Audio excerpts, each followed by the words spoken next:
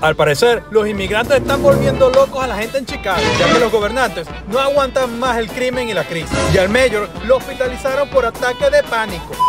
El esposo de esta mujer está muy estresado por no saber cómo mantener a su familia, especialmente después de haber tenido tres hijos con ella. El único problema con esta noticia es que el esposo es un muñeco de trapo. El humo del cigarro hace mucho daño a las personas, pero según estos estudios, la mujer embarazada que fuma no le hace daño al bebé.